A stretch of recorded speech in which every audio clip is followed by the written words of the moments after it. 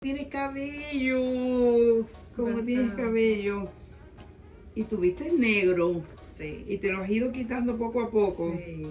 Ah, Entonces, ¿qué tú quisieras más o menos? Me dice que qué color te puedes dar que no sea un cobre.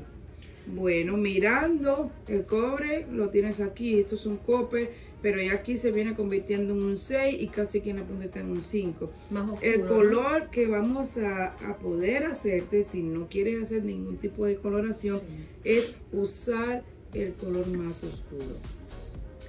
Y no sé, yo no podría hacerme como esto que le hacen ahora, que es el Un balayage. y con las puntas eh, rubias así. Sí, tú te puedes hacer un balayage, pero el problema es que tu, tu base no, no me favorece. Tienes un copper que no lo quieres.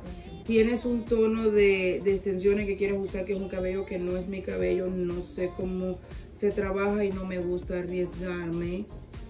Si tu cabello estuviese rubio y hubiera que hacer un trabajo de tratar de acomodarte más o menos lo que tú traes, pero es que es mucha la diferencia y yo no conozco ese cabello.